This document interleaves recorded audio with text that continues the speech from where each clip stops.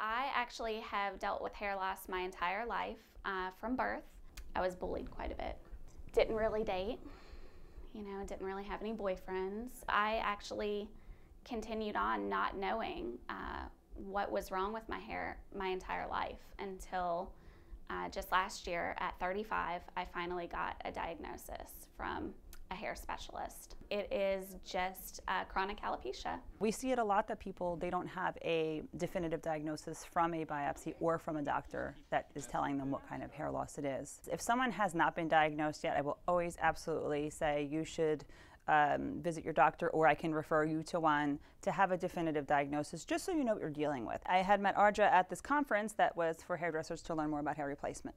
I just really wanted something that looked very natural that felt natural. And I said to myself, I believe that the CNC would work for her for everything that she was telling me, what she could do, what she couldn't do. What made me interested in the CNC is that I felt like it was the best quality piece out there on the market. What really appealed to me is that I could just wake up in the morning and have my hair on that I could swim or shower. It doesn't even feel like I have anything really on my head. I cannot get over it. I mean, I'll be able to just do normal things um, like blow drying my hair or curling it, um, being able to put it up in a bun. I think that it is going to improve my self confidence drastically.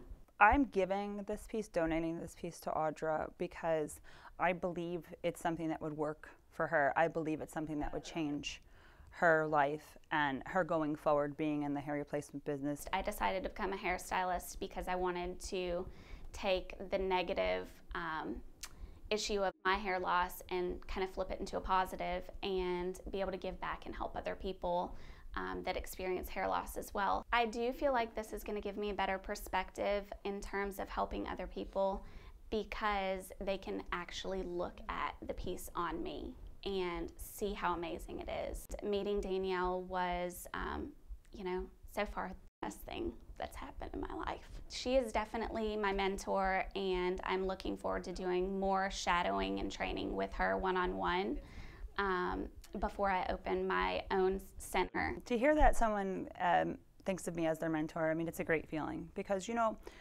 to be able to help somebody, to be able to uh, show them the path. You know, I always say, if I could give one to everyone in the world, I would. I met her for a reason so that I can also be able to go back home in North Carolina and help other people. She's definitely an angel.